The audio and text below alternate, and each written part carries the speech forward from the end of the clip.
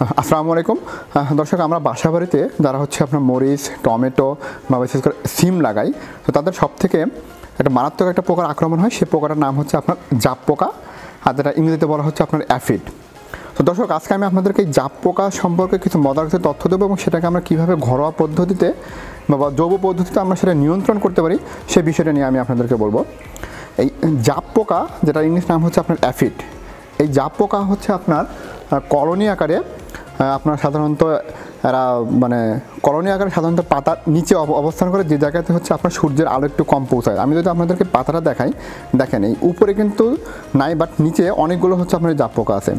একটা মজার একটা বিষয় হচ্ছে আপনার এই জাপ পোকা, আপনারা অযৌন প্রক্রিয়ায়, অর্থাৎ স্ত্রী পোকা, কোনো যৌন মিলন ছাড়াই এরা বংশ বিস্তার করতে পারে। এবং এই জাপ পোকা সাধারণত গাছের হচ্ছে আপনার রস খায়।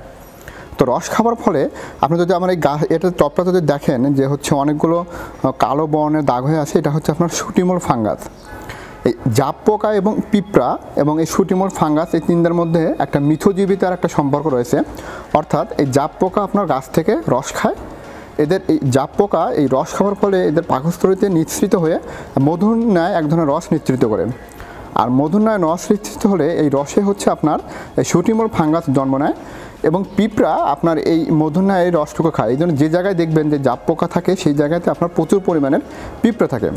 এখানে পিঁপড়া অবশ্য জাপ পোকা পিঁপড়াকে অনেক সময় আর একটা মানে কেরিয়ার বাহক হিসেবে এরা ব্যবহার করে। অনেক সময় দেখা যাচ্ছে জাপ পোকা কিন্তু আর উঠতে পারে না। যদিও খুব কম উঠতে পারে, তো এক জায়গা থেকে অন্য জায়গায় যাওয়ার জন্য এরা পিঁপড়ার যদি ঘাড়ের উপরে ওঠে, তখন পিঁপড়া এক জায়গা থেকে আগ গাছে যাচ্ছে, মধু খাচ্ছে, তখন এই জাপ পোকা এইভাবে আপনার ছড়িয়ে পড়ে।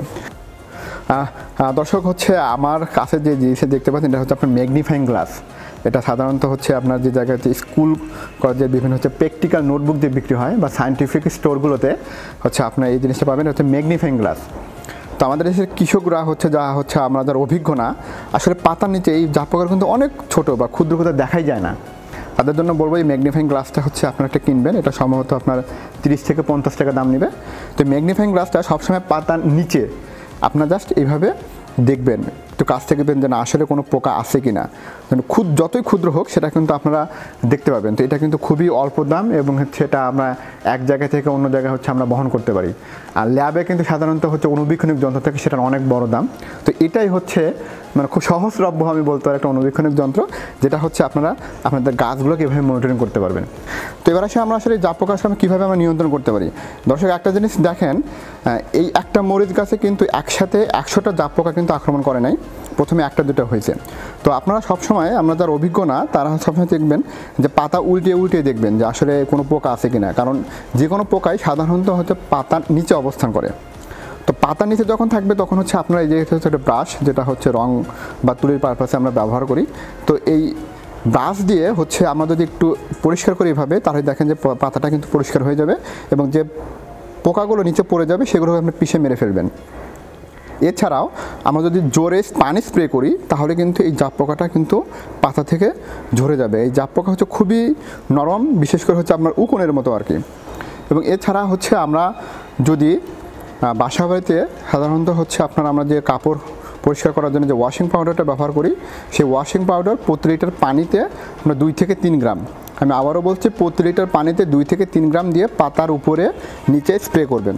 তাহলে আপনার এই জাপ পোকাটা মারা যাবে। যদি ওয়াশিং পাউডার পরিমাণ যদি বেশি দেন, তাহলে কিন্তু গাছ মারা যাবে। আমি আবারও বলছি, যদি বেশি হয়, আপনার গাছ কিন্তু মারা যাবে। এছাড়াও আমরা যারা গ্রামে হচ্ছে আমাদের কৃষক ভাইরা আছে বা হচ্ছে যারা আমরা রান্না করি, তো রান্না করার পরে যে ছাইটা থাকে, অর্থাৎ খড়িতে রান্না করার পরে যে ছাই থাকবে, সেই ছাই যদি হচ্ছে আপনি আপনার গাছে দিয়ে দেন, তাহলে কিন্তু এই জাপ পোকার আক্রমণ থেকে নিয়ন্ত্রণ করা যায়। এবার আসে হচ্ছে আমি রাসায়নিক উপায়ে কীভাবে তার দমন করতে পারি। রাসায়নিক উপায়ে দমন করার জন্য হচ্ছে বাজারে ইমিডাক্লোরোফিট গ্রুপের কীটনাশক। আমি আবার বলছি, বাজার থেকে ইমিডাক্লোরোফিট গ্রুপের কীটনাশক, আপনার এটা বিভিন্ন কোম্পানির বিভিন্ন নামে আছে, সেই কীটনাশকটা কিনে এনে সেটার গায়ে যে লেভেল থাকবে, সেই লেভেলটা ভালোভাবে পড়ে সেই পরিমাণে পাতার উপরে এবং নিচে স্প্রে করবেন। এইভাবে হচ্ছে আমরা জাপ পোকাটাকে হচ্ছে আমরা নিয়ন্ত্রণ করতে পারি। জাপ পোকার সব থেকে মানে খারাপ একটা দিক হচ্ছে, এরা গাছ থেকে যে রস খায়, সেটা গাছের তেমন কোনো ক্ষতি করতে পারে না বাট এরা হয়তো ভাইরাস হচ্ছে বহন করে। ভাইরাস সাধারণত এক জায়গা থেকে অন্য জায়গায় যাওয়ার জন্য হচ্ছে একটা এজেন্ট বা ভেক্টর হিসেবে কাজ করে। তো এই জন্য এই জাপ পোকা হচ্ছে আপনার যখন এক, যদি ভাইরাস আক্রান্ত গাছে যদি এই জাপ পোকা রস খায়, যদি কোনো সুস্থ গাছে গিয়ে আবার যদি বসে, তখন এই যে ভাইরাস, তখন সে সুস্থ গাছে আক্রমণ করবে। তো এভাবে হচ্ছে আমরা আমাদের জাপ পোকাগুলোকে হচ্ছে আমরা নিয়ন্ত্রণ করতে পারি। দর্শক, আমার ইউটিউব চ্যানেল এবং ফেসবুক পেজে লাইক দেবেন, ইউটিউব চ্যানেল সাবস্ক্রাইব করবেন। কৃষি বিষয়ে কোনো সমস্যা থাকলে আপনার আমার ইউটিউব চ্যানেল বা ফেসবুক যে পেজ সেটাতে হচ্ছে কমেন্ট করে জানান। আমাদের পুরো টিম আপনাদেরকে সমাধান দেওয়ার জন্য প্রস্তুত।